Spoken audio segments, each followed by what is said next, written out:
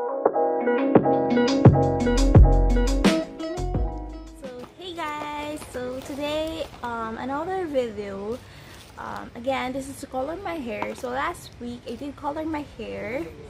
Um, it did made a change yung roots ko. Ayan, brown na siya. But today, I really do want my hair to be lighter. So, originally, I was supposed to buy a bleaching kit from Mulane, but sadly, it was out of stock.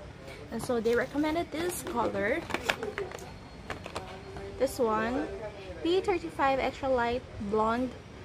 Yeah, new, this is their new lifting color. They said that this will lighten my hair up to the 7th level of the bleaching scale. So, input ko na lang bleaching scale like right there. Tingnan natin kung effective to. So, sa mga gustong i-try na mag-light yung hair nila but not use bleaching, and for a cheaper price also, this is just 179 pesos only, pinili ko to during quarantine. I didn't expect na the next day yung di-deliver na agad.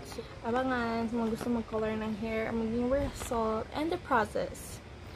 Bye! So, this will be a mini unboxing. Yung laman ng Lolane P35 Extra Light Blonde. So, yan, we have the dotting color mismo. Yeah, this is the color cream. Next is, oh no. Yeah, this is the Oxy Milk Lotion. 12% yung cream. And, ayan, instruction lang. So, guys, don't forget to read the instructions para naayos yung pagkaka-apply ng color natin sa hair. Yan. English naman siya. Yan. So, ayan, ayan yung instruction. So, these are the three things that is inside the box. Okay. Mas mahirap pala itong ginawa ko. Aalisin ko ulit. Mali. Dapat, ay! Tutol. Dapat, dito muna. Yan. And, ay, guys, don't forget to wear yung sira or hindi nyo naman pinanlalabas ng shirt yung kakapitan ng kulay kasi yan. Perfect! Nasira yung brush ko.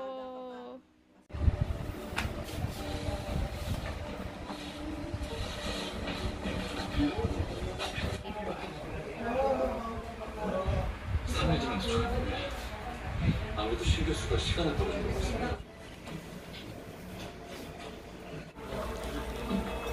Okay. Hello guys! So, ayan, hair update lang. Nilagyan ko din yung kilay ko. Wala lang, para magka-color. Pero last ko na siyang nilagyan. Ayan. Nag-lift na nga yung color ng hair ko. Abangan na lang ninyo yung magiging result nito kapag tuyo na. Hey guys! So, ito na yung result. After using two boxes of Kilo Late Pixel P35, orangey siya. So, ayun, balak kong patungan ng kulay. Yung natira ko pang iro-iro. Para patungan yung pagka-orangey. Pero satisfied ako sa naging results. Nag-lift yung color ng hair ko. Though, ano yung mapapansin ko. Siguro dry, konti lang. Kasi ako nag-conditioner today. And expected na yon pero lang naman. So far, okay naman yung pagkakakulay ko. Not sure, at siguro may areas na parang mas dark. Ayan. So, ano masabi nyo? sa pinakada talaga ako. Ano sabi nyo? Yung sa naging results ng Lane Pixel P35 Extra Light Blonde Lifting Color. Yan. Ito yan guys. Sa back. Talikod lang. Yung likod. Ito lang. Guys. anyway. Yun. So, not sure if mapapakita pa yung next color pag kukulay ko kasi lowat na yung phone ko. So, yun. Thank you guys. Please like and subscribe if you like my video.